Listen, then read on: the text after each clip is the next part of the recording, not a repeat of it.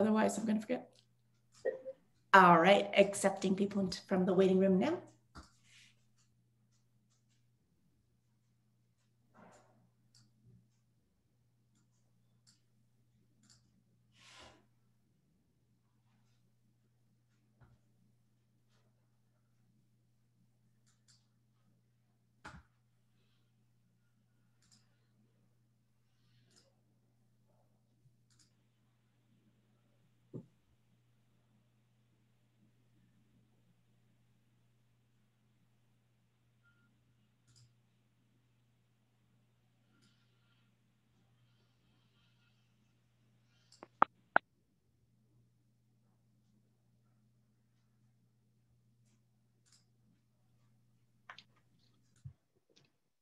Good evening, everyone. Welcome to the Connecticut Medical Advisory Council Spring Meeting. Before we begin, it's my pleasure to introduce to you my colleague, Kat Evans, who is handling the technical production um, and will share with us our disclaimer and briefly resume, uh, review the Zoom etiquette. Yeah. Thank you, Kathy. Hello, everyone. Please take a moment to review this disclaimer as this webinar is being recorded and will be shared on ALF's YouTube channel.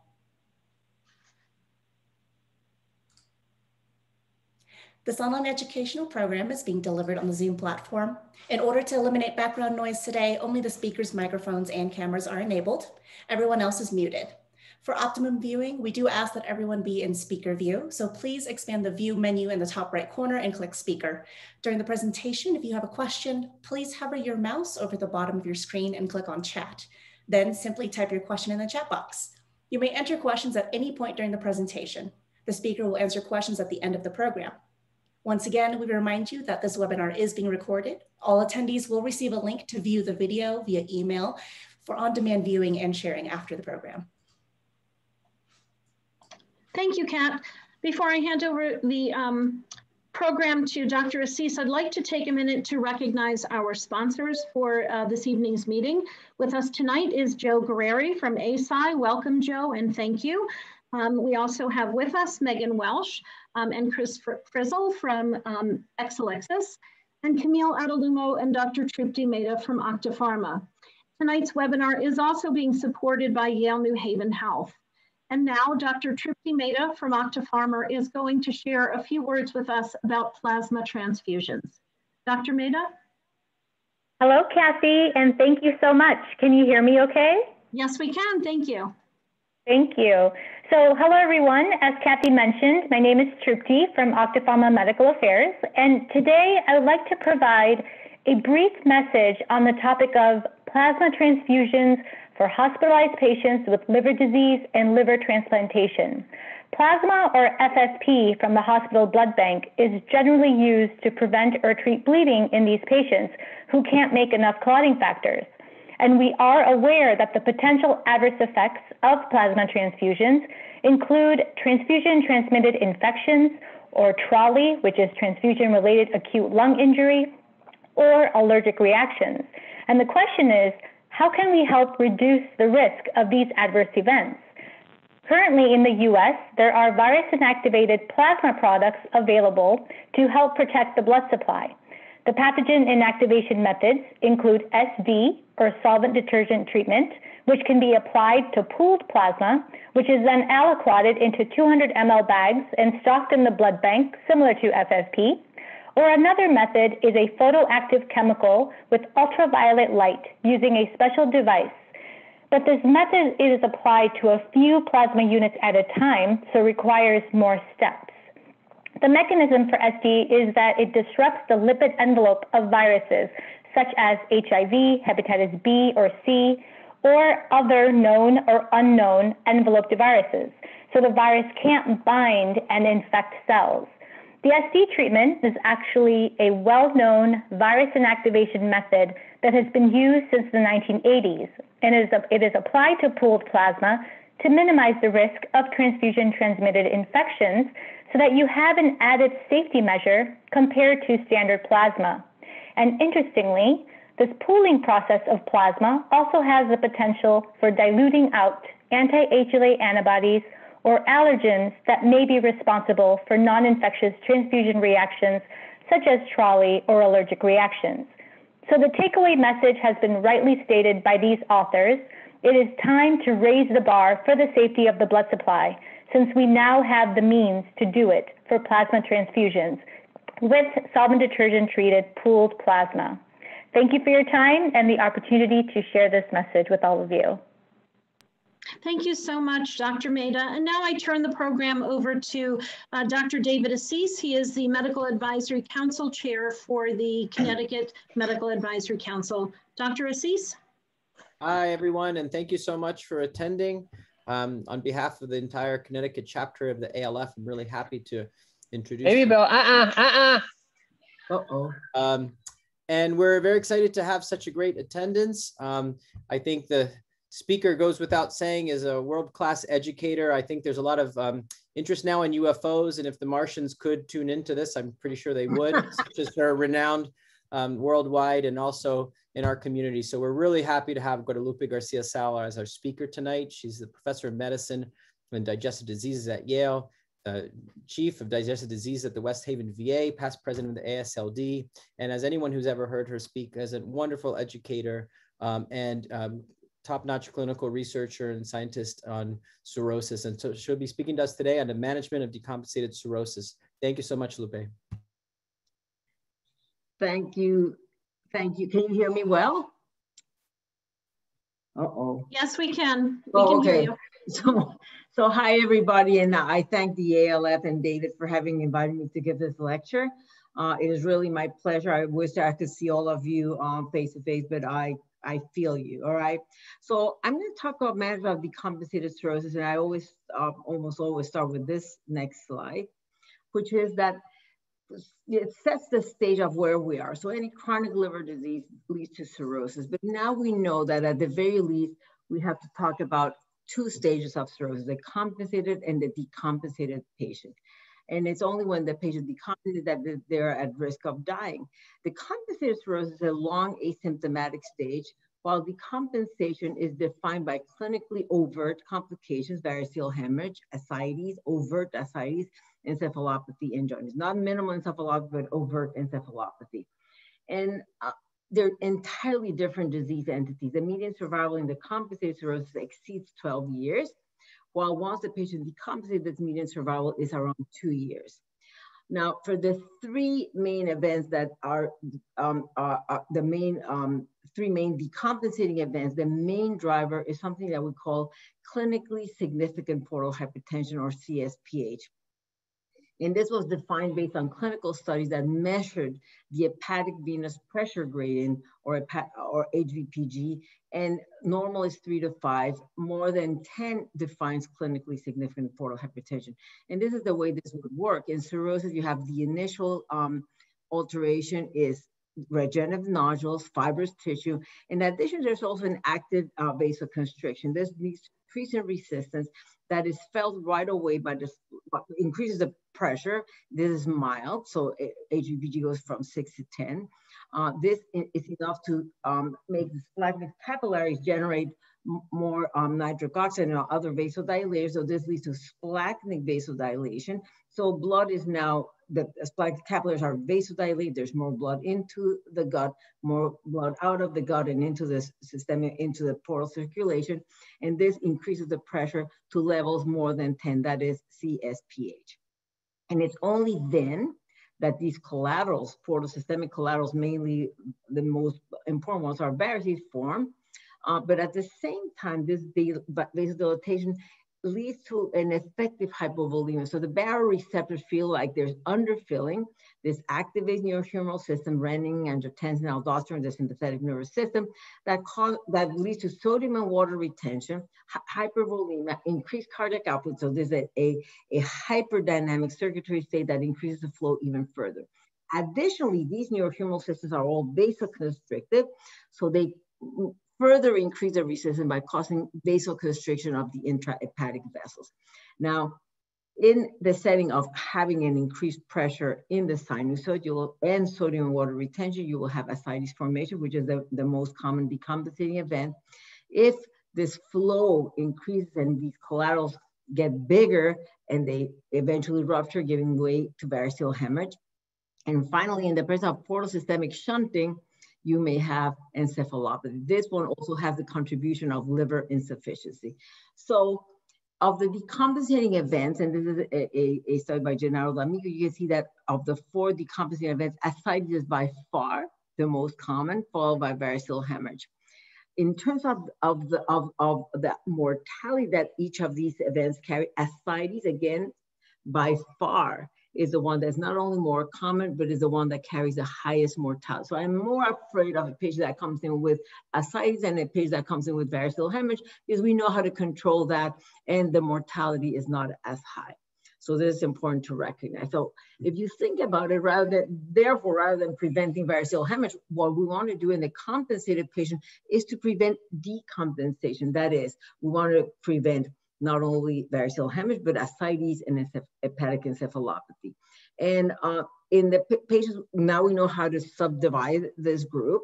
And we have the patient with mild portal hypertension. These are very unlikely to decompensate. And therefore, in, in, these patients, we concentrate on eliminating etiology. And in these cases, actually, there's the possibility that we you could reverse to a non-cirrhotic state. But patients with CSPH have thicker septa. They're unlikely to reverse to a, to a non-cirrhotic stage, and they are likely to decompensate. So it's these patients that we are going to concentrate on if we're going to want to prevent decompensation. And how would we do that? By lowering portal pressure. So we have for many, many years known how to lower portal pressure. Um, non-selective beta blockers are the mainstay for more than 35 years, and they act at the level of increased flow. So the Traditional non-selective beta blockers, propranolol and nadolol, act by number one, beta 1 adrenergic blockade that decreases cardiac output.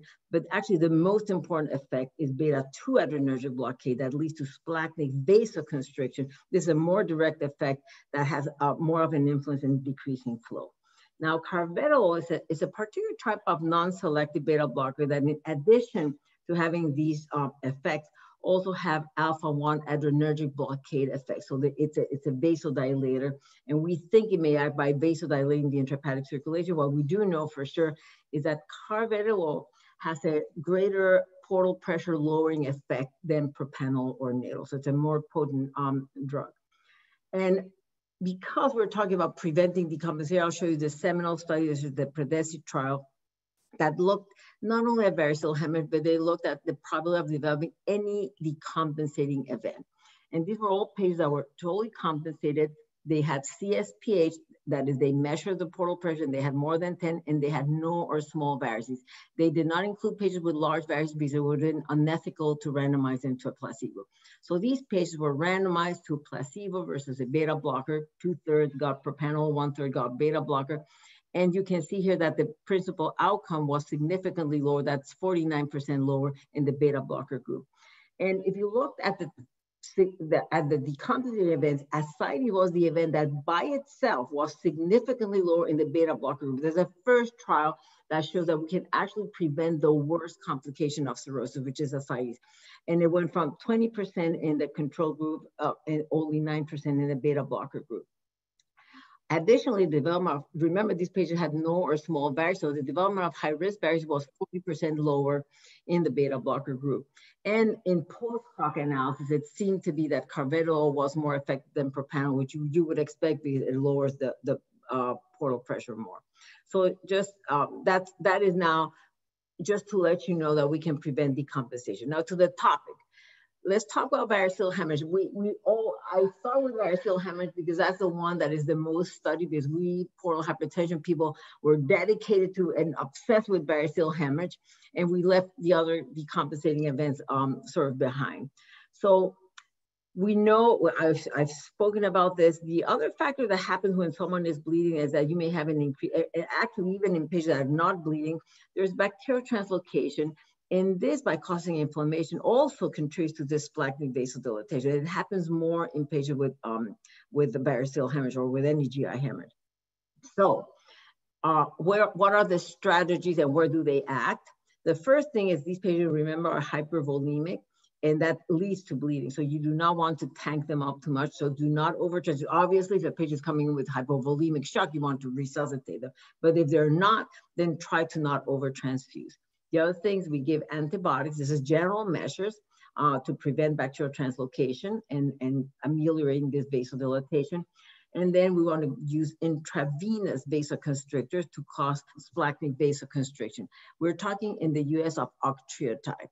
We do not have somatostatin or present. We do not use non-selective beta blockers in this setting. No, I've seen a patient recently that was put on IV labetalol in an outside hospital. This is not gonna work, but you're gonna blunt the, the, the cardiac response to beta blockers. And additionally, they will not have the response of these more potent vasoconstrictors. And then, of course, in this setting, ligation is very useful because you're going to ban the, the varix or varices that are bleeding. Now, TIPS is second line therapy, and I will go um, in more detail as who are the patients that are candidates for TIPS.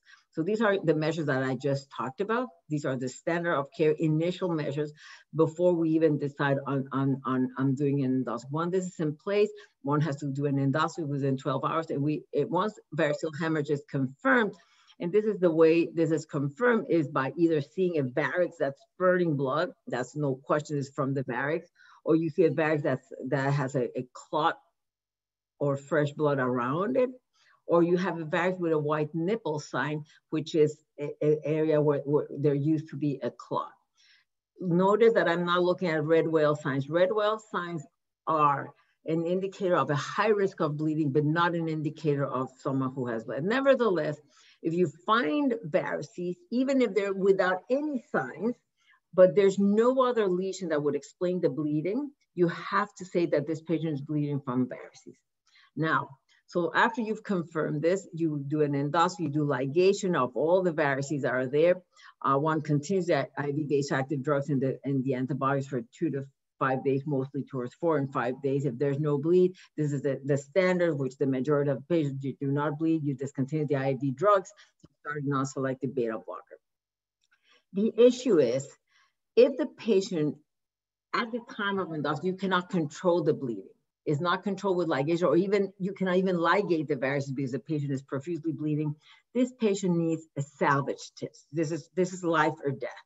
On the other hand, you've controlled the bleeding, but during hospitalization, the patient rebleeds. This patient has failed standard of care, so you need to do a rescue TIPS, all right? Now, who are these patients that, that need rescue TIPS? Mostly child C patients. So the sickest of the sick are the ones that need rescue TIPS. And if you think about it, they have bled once, they have bled twice. Now you're putting a TIPS in there, they have a very high mortality. So high mortality patients that get the rescue TIPS. Now, in so the issue is, what about it if these high risk patients, we put a TIPS in preemptively. So patients at high risk of failure, we put in a P-TIPS when the bleeding is controlled, but before they rebleed. This is P-TIPS and it's placed before the patient fails and needs a rescue TIPS. Obviously, these two instances, you don't care if the patient has had primary encephalopathy or not. You don't care about contraindications to TIPS because this is life or death. All right. Now, however, in the preemptive phase, you have time to think that the bleeding has been controlled, but now within the first two, three days, you have to put a TIPS in, but then you can evaluate the patient. And these are patients that have traditionally been excluded from P-TIP studies, old patients. Of course, I already talked about Child-Pugh score 14 and 15 because they are very sick recurrent overt encephalopathy without precipitating factors, eh, kidney failure, sepsis, importantly, heart failure and pulmonary hypertension. So you need to do a cardiac echo, HCC beyond Milan criteria, and complete portal vein thrombosis, which currently would probably not be considered a contraindication. So let's show you the, the, the studies, the, the two main randomized controlled trials of preemptive TIPS in patients with um, that in patients with child C, and so in the in the first study by Garcia Pagan, they included child C 10 to 13 points. So they excluded, like I said, 14 and 15 points because they are too sick. But they also included, and I think they included them because they didn't have enough patients to randomize. So they included patients with child B that were actively bleeding at time of endoscopy. And you can see here, this is survival. This is not only rebleed, but it's survival preemptive test had a significantly better survival than standard of care with drugs and ligation. Now, the, the, there were 50-50 patients with each of these categories, but the one year absolute risk reduction was 25%. That's pretty significant. Then came the Chinese. These were, um, these were again, a lot of patients, almost double the number of patients or more than the Garcia-Pagan study, but they included the same child C, but they also included child B with or without active and so all child B patients. And in fact, only 22% were the really high risk patients. So nevertheless, they did show that P-TIPS had, had, was associated with a better, a significantly better survival, 50% risk reduction in dying. But there, the absolute risk reduction was only 13%, which is lower than when you select sicker patients. Now, these were mostly hepatitis C and alcohol cirrhosis. These were mostly hepatitis B cirrhosis. We do not know what happens in NASH cirrhosis with preemptive tips. Um, there's an additional Scottish study that included even a smaller number of patients. They were all um, alcoholic cirrhotics. Um, they did not find differences in survival as opposed to these two studies. And actually what they found is that you could not put that tips in in those first hours and that um, sometimes the tips was not feasible. So there's more of a real life study. So because there's been a lot of studies, most of them um, retrospective uh, cohort studies, uh, a recent meta-analysis was published in Gastroenterology. Uh, they included the two studies that I've spoken about, Garcia-Pagan and Liu, um, and that used the, the, the, current standard of care because Monescillo also um, was a randomized controlled trial, but he included uh, patients with uncoded tip stents, and they use HVPG as a um, uh, as a decider of who uh, entered into the study. study. You can see this is all patients. This is survival, and it favored preemptive tips. Now, because they had individual data, they could now see the subgroups. So in the child C10 to 13, no question, P-TIPS was better than drugs plus endoscopy. When they looked at child B, they separated into two groups, B seven points plus active bleeding, and then child B more than seven points, meaning eight and nine points plus active bleed. And the differences were not so in the in just the seven. It was, however, significant in the B more than seven. So these are the two that groups that they identified as being high risk and that would benefit, would have a survival benefit with preemptive tips. So this is the way it plays now. When the patient comes in, you figure out, is this a tips, preemptive tips candidate or not? So you calculate the Child's score. If you decide that this patient is a P-TIPS candidate, this should be placed within 72 hours. And that's why all these sites used to be called early tips but it was, it was a little confusing that term. So these are our candidates based on this Nicoară-Farcău meta-analysis that I just showed you, but I still think that the child B patients are not very well, uh, we haven't quite settled who are these, but at least we know that they have to be the sicker child B patients and they have to be actively bleeding at endoscopy. The non, it's important to recognize who are not P-TIPS candidates. In child A, not a single child A will ever be a TIPS candidate. Child B7 with or without active bleed are not candidates either. So these are the, the, the, healthy patients, but you'd also do not want to include the very sick child C patients. So it now, uh, and then you have to put the pre-tips within 72 hours. In the majority of patients that did not receive tips during admission, then you go to the to, uh, to the normal um, uh, schedule. If they bleed, you get the rescue tips. If they do not bleed, you have to discharge them on secondary prophylaxis with non-selective beta blockers and ligation. And let's talk about that. This is, there's been a million trials looking at prevention of rebleeding, and it's not as safe. So first bleed rate is rather sm small, 15%, whereas if you do nothing in a patient who's bled, 60% are gonna rebleed. And the main therapy is a combination here of ligation and um, uh, non-selective beta blockers. And again, these studies, although there are like a million, never stratify patients by compensated or decompensated, which is what we used to do in the past. You know, we never we just say patient has cirrhosis, have cirrhosis. But now that we know about this, we, we asked um, uh, the, the, the, we did an individual data meta-analysis, including four randomized controlled trials and divided them by child A, which are mostly compensated, and child B and C, who are mostly decompensated. And um, so these are trials that were ligation plus beta blockers versus ligation alone. Really in child A patients, it did not make a difference. But in child B and C patients, who are the decompensated patients, the addition of the beta blocker definitely made a difference in survival. This is overall survival, and this was significant. Therefore, non-selective beta blockers are the key component of combination therapy, particularly in these decompensated patients. So now, this whole issue is it, the decompensated patients are going to be likely to have ascites. So, but it all depends on what type of ascites. And this is a, a, a great study uh, by Dr. Albillos' group that looked at patients with diuretic responsive versus refractory ascites. They used propranolol as the non-selective beta blockers, and they looked at heart function and, and renal perfusion pressure before and after propranolol. In the diuretic responsive ascites, there was no decrease in heart function. There was a significant decrease in renal perfusion, but only one patient went below this threshold that perfuse, that actually perfuses the, the, the kidney. Whereas in refractory ascites, there was a significant reduction in, in systolic function and also a significant reduction in, um, in, in, in renal perfusion pressure, but actually 11 of these 20 patients went under this threshold um, of renal flow autoregulation, and four of them actually developed HRS AKI. So be very careful. Of course, there's another half that did not um, develop this decrease in renal perfusion pressure. So there, there's some patients with refractory that will definitely tolerate non-selective beta blockers. And this is uh, based on the on the mean arterial pressure or on the systolic blood pressure. So one has to a, use non-selective beta blockers very cautiously, maintain that mean arterial pressure over 65, or easier still is to do the systolic blood pressure more than 90.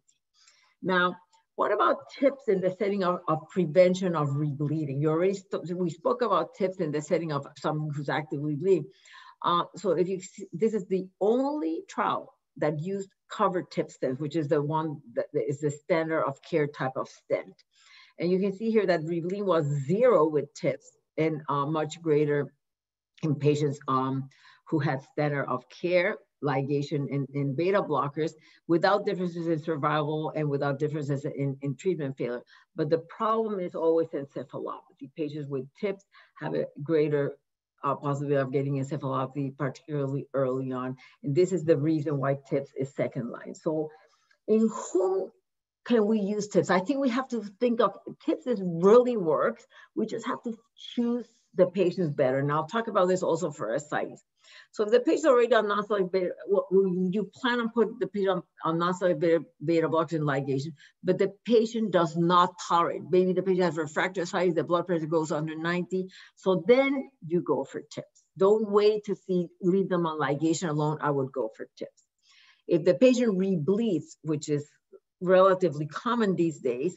We do the same thing as we saw. You hospitalize the patient, you do these three center of care measures, you do the endoscopy with the ligation, but then because the patient has already failed secondary prophylaxis, they have to go for TIPS, and this TIPS has to perform during that admission. They cannot leave the hospital and then think about putting a TIPS. They ha it has to be done during that admission.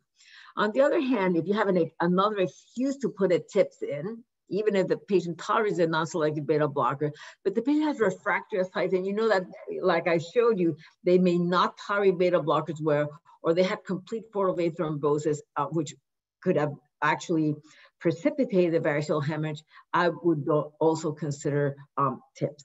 So this is out of the recommendations, this is sort of off the top of my head where we're trying to put tips perhaps earlier. And in, in these cases, in this case, it's emergent. In these cases, it's semi-elective.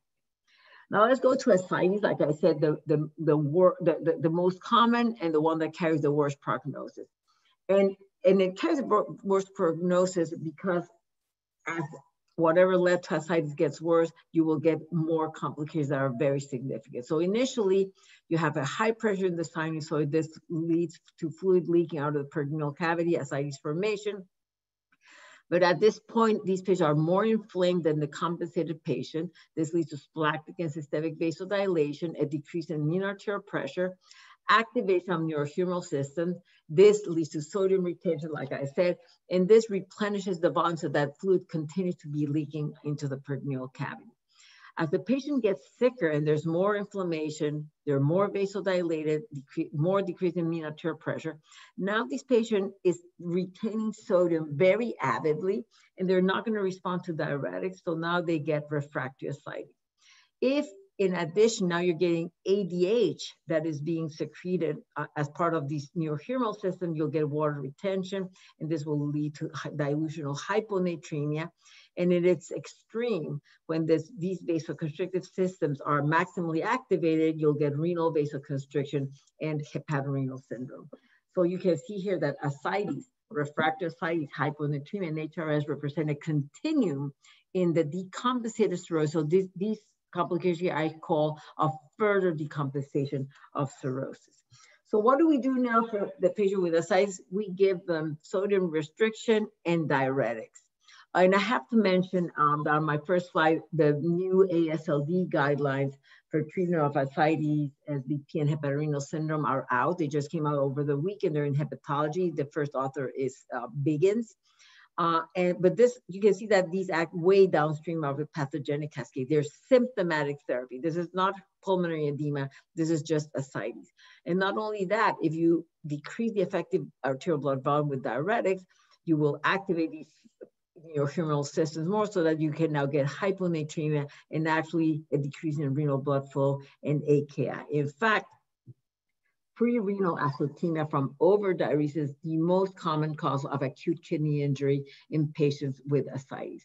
So you have to be very careful in treating patients with diuresis. They cannot lose more than one um, pound a day. Now, what do we do for refractory ascites? That goes even worse we we or with ascites that's very tense and then patient needs to be comfortable, we stick a needle in there and do a large volume paracentesis, we take the fluid out. This is way, way downstream. And it has a problem in that it can lead to lactic and systemic vasodilation. This is called post paracentesis circulatory dysfunction. This in turn leads to decrease in effective arterial blood volume, more activation of neurohumoral systems, and then hyponatremia and acute kidney injury that could actually go on to hepatorenal syndrome. So that's why it, with the LVP, what we do is we try to overcome these other factors and give albumin. Albumin will increase the effective arterial blood volume. It will probably even cause some vasoconstriction as it binds nitric oxide and it also binds cytokines that work with systemic inflammation. So albumin is now recommended with every paracentesis uh, more than five liters. So you get six to eight grams per liter of ascites removed. If the patient has AKI or is a high risk of AKI, one should try to avoid LVP, or if you're going to remove, remove less than five liters and give albumin even though this is not recommended for patients who do not have AKI. Now the question is, is albumin alone useful in patients with uh, cirrhosis and, and hard to treat ascites? And this is the ANSWER trial. This was a randomized controlled trial in which a group of patients got weekly albumin infusion. So they would come into the hospital, get the weekly albumin versus standard therapy. No, they did not use a placebo and they looked at overall survival. This was significantly better survival in patients who got the weekly albumin. Not only that, um, these patients were, they were not, they were not diuretic responsive ascites, but they were not refractory, somewhere in between. So they had lower rates of need for large volume paracentesis, less hyponatremia, less SBP, and less hepatorenal syndrome. So this sounds um, fantastic. The problem is that it was not placebo control. So that these patients got seen weekly by their doctor, whereas these patients were seen whenever you see them every two to three months. So therefore, uh, you can understand that that that maybe just taking care of them every week made the survival and all the other complications less. More to come. The other study, additionally, there's this match study, uh, which also included patients with, with um, sort of not quite refractory ascites. This was a double placebo um, trial of albumin plus midodrine, which makes sense. It's a vasoconstrictor. And you can see here that there was no difference in survival and there were no difference in need for LVP, renal failure, hyponatremia, bacterial infections, encephalopathy, or GI bleeding. Advantage of this one is double, this is a better, better um, designed study. But uh, however, these patients were less sick. They had a median MELD of 12. these patients were more sick. So one wonders whether it failed because they were sicker patients. But for now, this is the AASLD guidance. There was no recommendation that could be made regarding the outpatient use of albumin in routine clinical practice. So we have to wait for more trials to come. Now, what about TIPS? TIPS acts, acts upstream of the pathogenic cascade. And I'll show that, oh, I did not show that in my next slide. So you are actually, you are relieving the site of increased resistance and all the blood that's sequestered in its splanchnic circulation is now going into the systemic circulation, and you're increasing the effective arterial blood flow. So it acts upstream, and there is one, only one study again using covered stents, which are the standard of care now. And this study by Bureau in France showed that the survival, again, this is survival, was significantly better in the TIPS group compared to those that continued with large varicose parasites and. Now, it's important when you see these studies, if this is going to apply to your patient, you have to look at the inclusion and exclusion criteria. So they need they uh, uh, include a patient that has at least two LVPs in a minimum interval of three weeks, not no more, not, not more frequently than this. Um, they, they they excluded patients who required paracentesis every two weeks or or more frequently. Right, so every week we're sometimes we're thinking of this when they're requiring it every week. That is too late. Child score more than 12, they excluded, bilirubin more than six, again, AKI or, or kidney dysfunction, recurrent encephalopathy, which is the main predictor of encephalopathy post-TIPS, is encephalopathy prior to TIPS. Again, heart failure and pulmonary hypertension, uncontrolled sepsis, and complete portal vein thrombosis. The, the, this, if you look at it, the median of LVPs was 4.5 in the last three months. So they, they, these patients mostly had a paracentesis every three weeks. In, in a recent consensus conference that we just submitted for publication, we, we conclude that TIPS should be considered in selected patients with at least three LVPs for tense ascites in a year. That means every four months. So uh, one should start thinking about TIPS much earlier than, than, than we're thinking about it.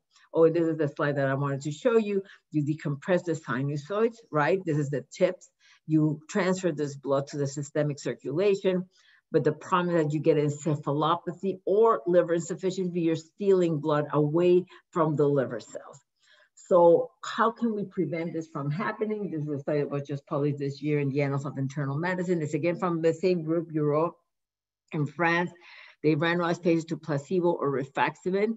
They had to get the rifaximin in the two weeks. They started rifaximin two weeks before placing the tips, and they showed that in fact, rifaximin was associated with a lower probability of developing overt hepatic encephalopathy. When they looked, 81% had tips placed for ascites.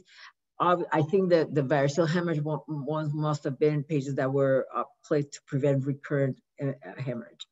So the mean MELD was 12. So think about this. These are like fairly um, good uh, patients in terms of the liver function and, and no kidney injury. And they found that in the post hoc analysis, those the, the people that benefit the most about this were patients that had previous hepatic encephalopathy, whereas in those without previous hepatic encephalopathy, there was no benefit. Now, uh, what is the other way that we can prevent encephalopathy is by putting a smaller tip stent, not a big one. So stents come in, in size of eight and 10 millimeters. And, and people try to lower the pressure no matter what to less than 12. And sometimes they use the 10 millimeter stent. And this study um, that I had an opportunity to collaborate when, when I was in, in, in Italy for, for, for trying to leave, uh, this was a study that random, it's not a randomized study, it was a prospective non-randomized study. So some patients, 20, got a six millimeter, and this was a six millimeter is pretty small. And um, the and 22 got more than six. It could be 10, could be eight. And you can see here that, that they, they had the same rate of, of, of large round paracentesis, so it did not affect the efficacy of TIPS, but the encephalopathy, look, this is portal systemic encephalopathy, much lower in those that had the small six millimeter stent. In the SE guidance, um, people are scared of putting six millimeter stents, but so what is a recommendation is that you want you to use small diameter coated stents of less than 10, meaning eight millimeters or lower and are preferred to reduce the likelihood of post-TIPS complications, including encephalopathy. So, so this is just brand new. Now, bacterial infections are, are the bane of the existence of, of, of any patient with cirrhosis because it can occur in the decompensated or in the first decompensated patient and lead to multi-organ failure, renal failure prominently. And this is called acute on chronic liver failure, and it has a very high inpatient mortality. Now, this can also happen actually in the compensated patient, and this can lead to clearly to acute on chronic liver failure and multi-organ failure. So of these infections, 38%, the majority are, well, the majority meaning because the others have much lower percentage are spontaneous SBP, SBE, which is spontaneous bacterial empyema, which is when the hepatic hydrothorax gets infected, and spontaneous bacteremia. So the main way to manage these patients is on admission and independent on whether the, if the patient has ascites, you do a diagnostic parasite, whether they have symptoms or not. If it's more than 250, you start an antibiotic.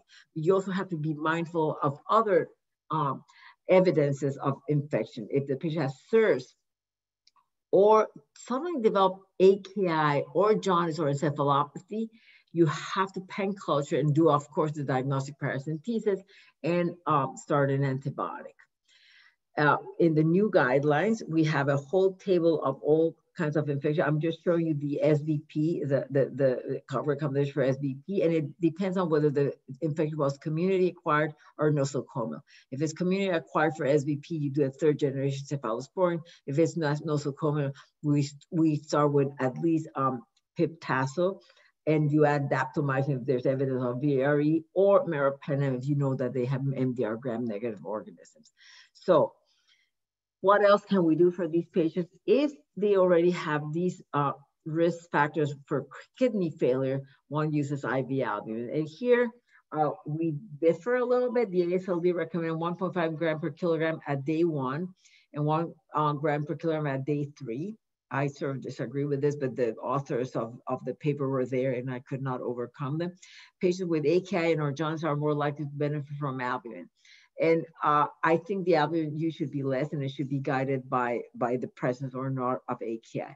The British guidelines actually say that in patients with SBP and an increasing rising of in, in serum, an increase or a rising serum creatinine, that's when you use the albumin. And I would agree with that. I would, I would um, tailor the, the IV albumin to patients who are already demonstrating some propensity or, or, or, or, or, or presence of AKI. Anyhow, so the, what we try to avoid when we do this albumin is to prevent hepatorenal syndrome from occurring. Uh, about 15 of the AKIs in cirrhosis is HRS. So don't think that right away patient who has a high creatinine has HRS. Most of them are prerenal azotemia. And before you deem that someone has HRS, you have to rule out prerenal azotemia um, and um, acute tubular necrosis. So what do we do?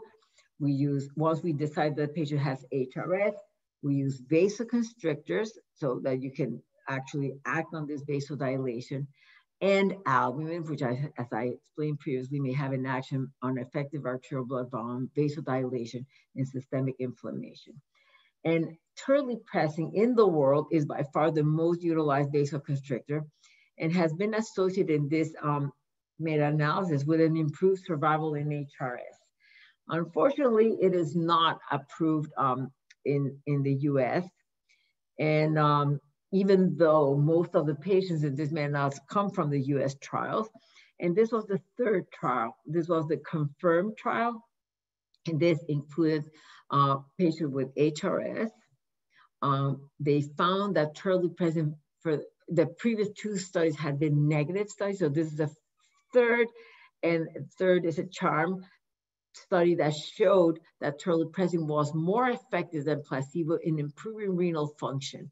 So they, the primary outcome was something called verified HRS reversal, which is two consecutive creatinine values less than 1.5. It was very contrived, right? At least two hours apart and surviving without dialysis for at least 10 days. This was FDA requirement. So you can see here that there was clearly a p-value of 0.06. You see there was more clinical success and less failures in the terlipressin arm. Now, in this trial, because they used the old definition of HRS, they defined HRS as a, as a creatinine of more than 2.25. And when we use now changes in creatinine as, as, as recommended now by the Ascites Club, you know, you could get HRS with a creatinine of one or 1.5 at least. So, so and the lower the creatinine, the greater the response to turtle So it's actually impressive that this study actually achieved a, a, a, a, verified reversal of HRS in a significantly higher number in, on terlipressin. Um, but unfortunately, they used creatinine levels that were too high. And the problem was terlipressin resulted in more adverse events leading to discontinuation of the drug, 12 versus 5%, and death within 90 days due to respiratory disorders occurred in 11 versus 2% in placebo. And based on this, the FDA gave um, the company a complete response letter, which is essentially a, a rejection with opportunity uh, to submit more data to see if with this data it can be approved. So for now, terlipressin is not approved for use in the US. Uh, now let's talk about what happened. Not only did these patients have uh, more credit than we would expect in patients with HRS now, uh, number two, they also got a terlipressin, which would decrease the post load, post cardiac load. But these patients at baseline, before they were randomized, they already had three uh, alveolar levels that were 3.7 and 4.0 that you will never ever see in a patient with ascites or HRS. This means that the patients were being given uh, intravenous albumin. And while on therapy, they even got more albumin, one, around 200 uh, grams in each group. So this explains, if you're increasing the postload and you're increasing the preload, how these patients had more pulmonary edema. And this is a problem. So I think it had to do also with the type of patients that were included in the trial. Now, let's talk about albumin then. This was a study called the ATTIRE study. Um, in, they're both uh, published um, in the same issue of the New England Journal of Medicine. This was a randomized controlled trial of hospitalized patients with cirrhosis. And, and they claimed that if you kept their albumin to a level more or equal to three, uh, they were going to have less infections, less kidney dysfunction, and less mortality. So that was the composite primary endpoint. And as you can see here, they were identical. They were no different. The albumin group was no different than the standard of care group that got albumin only with LVP or with SBP as, as per recommendations. And when you look at this, at, at the um, at the three components of the comp composite primary endpoint, there were again no differences uh, between any of these endpoints between the albumin group and the standard of care group. Uh, when you look at this, obviously the albumin group got a lot of albumin, particularly at the beginning, so that they could maintain this, this albumin level at around three. Uh, the cost obviously is astronomical when, when you do this. Uh, and the so they got 200 grams in the albumin group, 20 grams in the standard of care group. And guess what? They got more adverse events in the albumin group, mostly based on pulmonary edema or fluid overload. So I think we've gotten to the point where we're using way too much albumin and we have to now be very mindful of that. And we are, we, we desperately need uh, validation of non-invasive methods such as blood volume in patients with decompensated cirrhosis receiving albumin, particularly when we're combining this uh, with terlipressin. So in most cases, vasoconstrictors are temporizing um, events to transplant. So you, so you do the transplant. So what happens after transplant? in A patient who has had HRS prior to transplant and responded or did not respond to terlipressin. There's a European study. You can see here that actually there's no effect in terms of survival post-transplant but there is an effect of chronic disease post-transplant in that the non-responders to HRS, non-responders to terlipressin have a higher incidence of CKD after. So means that maybe these patients already have some kind of uh, not an atomic or uh, non-functional kidney injury when they got the terlipressin.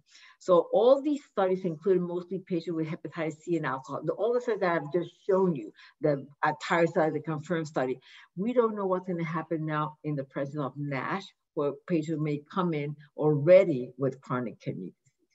So since we don't have anything to prevent AKI, what are we gonna do? We, are, we want to prevent worsening vasodilation. And we do that by giving albumin after LVP and with SBP, as I showed you, we have to avoid vasodilators and we have to carefully use non-selective beta blockers like I showed you in patients with refractory ascites. How about preventing infection? That's the main cause of worsening vasodilation. So there's two trials, one that has a small number of patients that show that norfloxacin uh, has a better survival in patients with SBP than placebo. Um, but importantly, that, that norfloxacin also prevented at least transiently hepatorenal syndrome. This is a, this, these are, I'm sorry, these are not patients with SBP. These are patients at risk for SBP. So these were, these were the, the risk factors. So it was very sick patients. But then came another study more recently. It's, it's a multi-center with many patients. Uh, this is a, a, a well-designed study. The theory that was that norfloxacin was going to be better than placebo in terms of survival. So this is the primary endpoint. It was a negative study. And again, they were high-risk patients. They were mostly Child-C patients. And you can see here how when you look specifically at kidney dysfunction, which is what I'm trying to prevent here, they were not significantly different. P.37. Therefore, at this point, there's no clear indication for use of norfloxacin in the prevention of kidney dysfunction and cirrhosis or as primary prophylaxis of uh, infection. Now, what about preventing a decrease in effective arterial blood volume? We have to carefully use diuretics.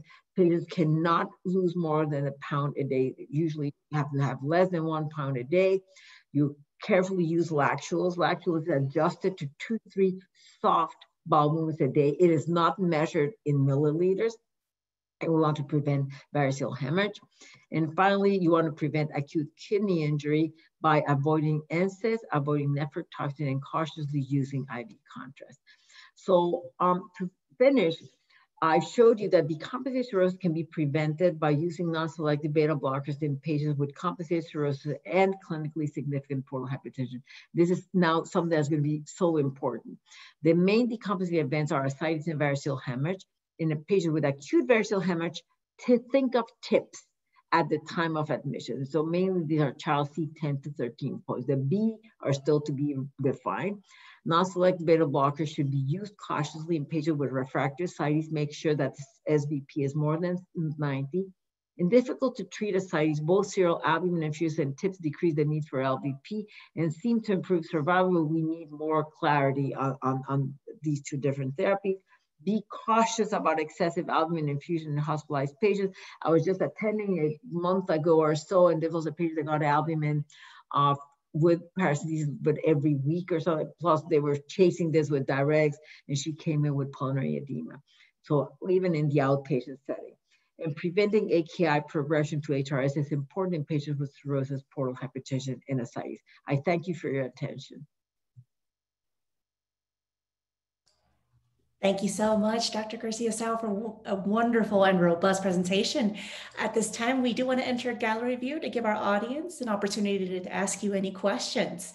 Sure. We're so lucky to have you here today, and I know you're super busy. So if you want to ask a question, go ahead and unmute yourself, or you can type a question into the chat box. I'm not seeing the chat box, so I don't know where it is. Oh, here it is. Would you place the tips in a high MELD patient with refractory variability? Yes, see, so so this patient, like I said, I don't care what the mouth is. The patient's gonna die if you don't do something for, for him or her. So that's why I said, if you're doing a, re a rescue tips, or especially if you're doing a salvage tips, where the patient is bleeding like crazy, you don't care what the mouth, you don't care what it is, you have to save that life in that moment, so you put a tips. What were the side effects pressing in the study? What study? The the it was mostly pulmonary edema. There, there were volume overload type of side effects in the in the confirmed study. Oh, I'm sorry, that's the only study I talked about. Sorry about that. Yes, those were mostly volume related, and the mortality was higher in those patients that had um, these side effects than in the control group. Lupe, what do you think the future of terlipressin is around here, given? oh, yeah, well, you tell David was actually in the FDA panel, right? I mean, we were very yeah. disappointed, but at the end of the day, you know, the vote was unequal, right? It was by one vote that, that they went to to the FDA um, panel. Yeah. Yeah, it was and interesting. They, but, the... but, but what killed them was the side effects. Yeah. I mean, if you have a higher mortality, so so I think that was the main thing. So they're waiting for more safety data. I think they're going to have to uh, figure out who are the patients. And I think it was it was a number of things. They have, you know, the creatinine of 2.25 to be randomized. You know, the albumin that these patients were already getting, and then they got more. So that precipitated, um, you know, uh, volume overload. It was very unfortunate. Yeah, absolutely. I imagine if it ever does get approved, it'll be even more important to avoid over uh, infusion of albumin because that's precisely something we don't think about enough. I know, I know, I know. We are like, I mean, at the VA, at least there's a restriction on how much. I think at Yale now you do as well. I, we may yeah. be swinging the pendulum the other way, but I think we, if we could have something that would tell us how much volume the patient is getting or how, then we could tailor this much, much, much more carefully. So I have what about, oh, Silvina, thank you so much. Uh, do you think there's going to be some place for SGLT2 inhibitors in diabetic cirrhotics? And I think it's, it's going to have a place. So SGLT2 inhibitors, in the same way that they're blocking the reabsorption of glucose, they're also um, block the reabsorption of, of sodium. So they're natriuretic. And we um, have a, a, a, three cases that were presented that had had uh, ascites that could not get a diuresis. They either got encephalopathy, hyponatremia, or AKI.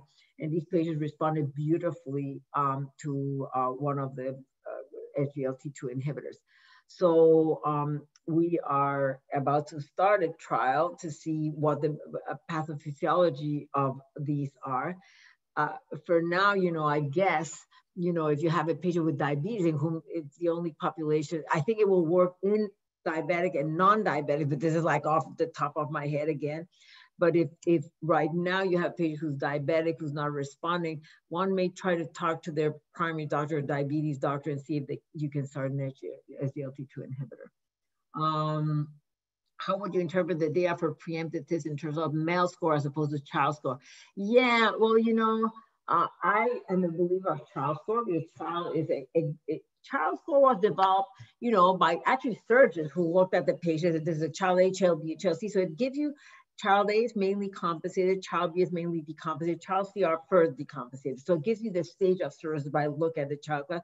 MELD was developed in already decompensated patients. It was developed in patients who were getting tips. So you get tips only if you're decompensated. So it's not gonna work for a compensated patient. So actually in the Chinese study, they, in a retrospective, not in the randomized control trial, but in a previous trial that was retrospective, they showed that the patients that benefited the most were those with the MELD more than 18. And people may have an issue with that. So because that was not randomized, there were patients that were, you know, we're not sure about that. But the, all the data comes from child class. So it's not, it's, it's really, I mean, it is sort of subjective, but it's work. And, and this is what the recommendations are based on the child class. All right. Uh, do you normally order procalcitonin admitted to hospital with ascites given the importance of early antibiotic? No. Uh, the procalcitonin has not been shown to be very good um, marker of infection in patients with um, with cirrhosis. They they have either it's it's I I, I I no one is using it really. So I think, unfortunately, you have to use your clinical acumen to figure out if the patient's infected or not. Sometimes it is sort of difficult because they may be, especially the people with alcoholic hepatitis, you just have to, um, you know, um, pan culture them and so forth. There's nothing really.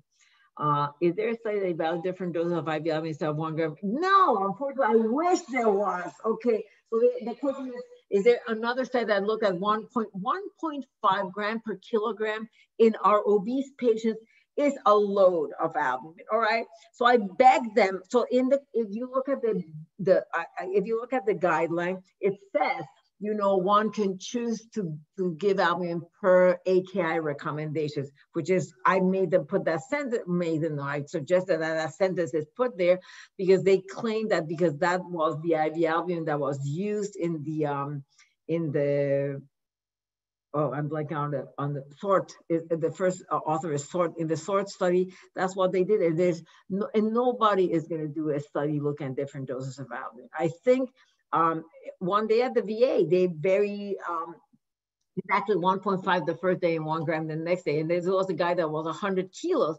So he got all the albumin in the state of Connecticut, and this patient got pulmonary edema for sure. This was many years ago. So I am much more cautious with albumin, and this should be more cautious. And I, yeah, what can I say?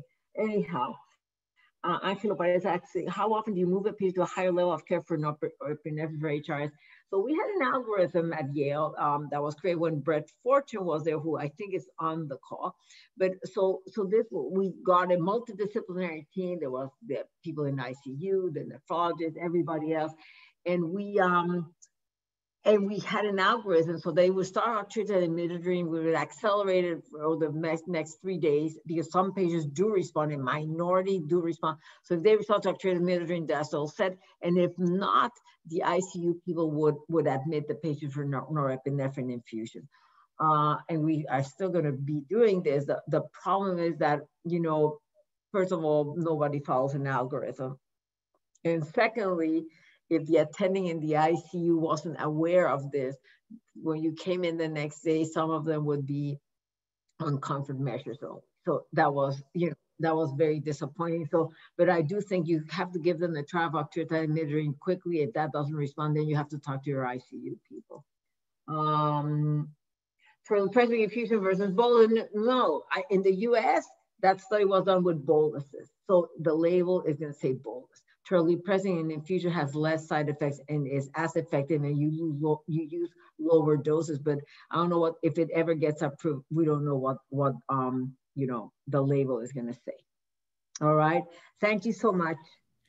Everybody. Thank you so much, Dr. Garcia-Tsao, and thank you everyone for submitting your questions. At this time, I'd like to bring back Kathy Flynn. Thank you again, uh, Dr. Garcia-Tsao. I know that you have another speaking engagement on an international Twitter debate, so um, we appreciate you being here. And again, thank you on behalf of everyone in the audience. Um, at this point in time, it's my pleasure to jump in and give you an update on the American Liver Foundation's um, Connecticut um, happenings. So some of our, our programs and events that have taken place, we had a rebirth day celebration on April 8th, where we gathered together liver transplant recipients who were celebrating their um, rebirth day or their liverversary, you know, choose your, um, choose your, your moniker um, but it was attended by um, over 40 patients and their caregivers. Um, Dr. Mulligan from Yale New Haven Health and Dr. Glenn Morgan from um, Hartford Hospital both spoke about their respective transplant centers. Um, we had three transplant patients uh, share very touching personal stories about their liver journey. Um, and we even had entertainment to round out the event. Um, it was uh, it was a lot of fun. Um, on April 24th, we uh, hosted our uh, Cuisine for a Cause event. That was a national event where we had over 400 people participate, um, and we raised over $200,000 for ALF's mission. So thank you to those of you who cooked along with one of the two celebrity chefs or made a donation to support this event. Um, and a very special thanks goes to our lead sponsors, um, Yale New Haven Health and Hartford Healthcare.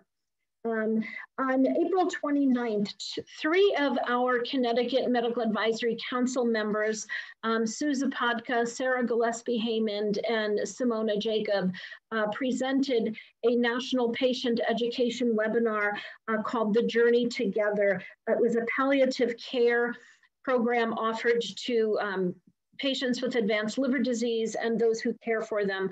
Um, I'm happy to say that there were over 125 uh, people in attendance. And then after, when it was shared on YouTube, there were another 178 um, on-demand views. So we're happy to get that information out on behalf of the American Liver Foundation. Um, coming up next is our Liver Life Walk. Um, this is an annual event for those of you who are not familiar. Um, this year we added a little flavor to it, if you will, by offering a Liver Cup Challenge. Uh, there are going to be three awards um, presented one to the top fundraising medical team, um, one to the top recruiting medical team, and one to the top steppers. So I guess we are charting the number of steps that all of the team members um, take between now and June 4th. Um, the winner of the fundraising um, prize will get a liver cup. Um, most importantly, that institution will get bragging rights for a year. Uh, they will keep the trophy at their institution until the 2022 walk next year.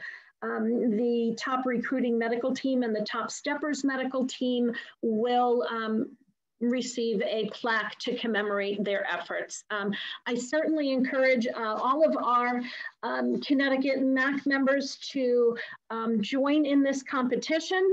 As you can see on the leaderboard here, Team Yale is leading in, uh, it's in the top three in two of the three categories. And all, as you can also see, there are several teams who are close behind and in the hunt. So I encourage everyone to join the competition between now and June 4th. Um, on June 16th, the uh, Greater New York and New Jersey Medical Advisory Council will be hosting the Greater New York, New Jersey academic debates. Um, there are four teams who will be debating two topics, um, and they have invited a team from Connecticut to participate. So Dr. Albert Do, who I believe is present tonight, um, has agreed to mentor a team of fellows from Yale New Haven, and that's Dr. Lindsay Muir and Dr. Sayed uh, Safo. Um, they will be representing Yale, they will be representing Connecticut, and um, we invite you to attend the academic debates and cheer on the Connecticut team. Um, you'll see that the registration link is in the chat. We will also follow up and send that to you all um, in our email after this presentation. Um, also coming up later this year is our 2021 Liver Health Poster Competition. This is the second year that we are hosting this. Last year, you may remember, it was part of the Cuisine for a Cause event because it was so popular across the country. Um, we are making it a standalone event this year. Senior members of the medical community will be invited uh, to encourage their fellows or early career hepatologists or GIs to select a poster topic that appeals to them, create a poster and a short video presentation that communicates a complex liver health topic in terms that are easily understood by patients and the general public. Um, there will be a judging panel um, that will review all of the posters that will live on a, um, a dedicated website.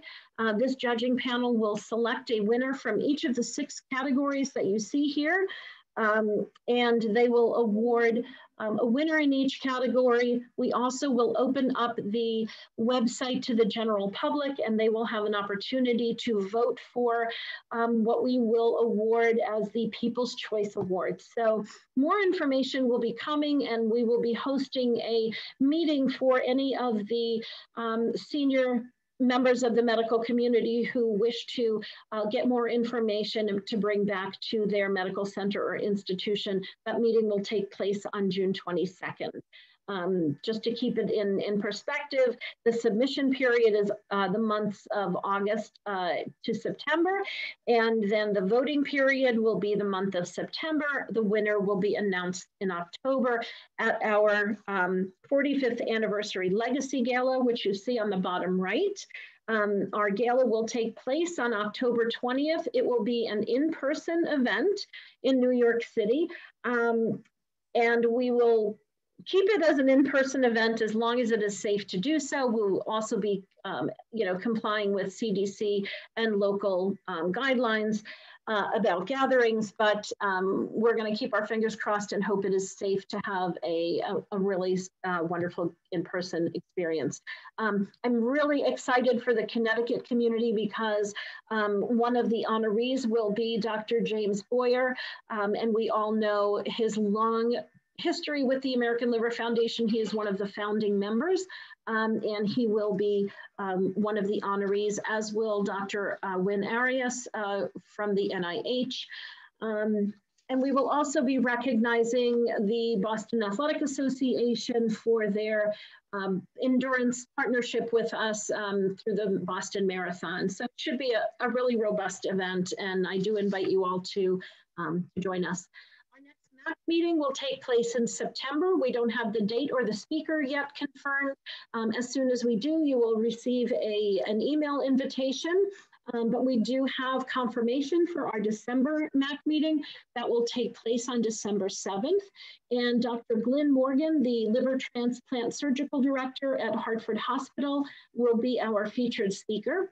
Um, and we're really crossing our fingers and hoping that it is safe to gather in person.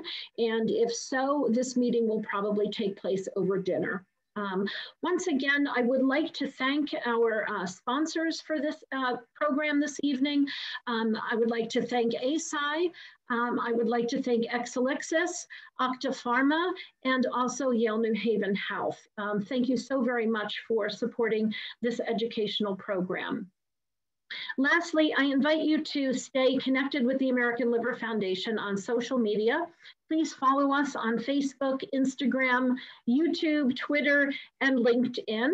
Um, and if you are visiting our MAC meeting from some other location in the US and you're interested in learning more about joining a medical advisory council in your area, please reply to the email that you receive in the next couple of days with the YouTube link to tonight's presentation.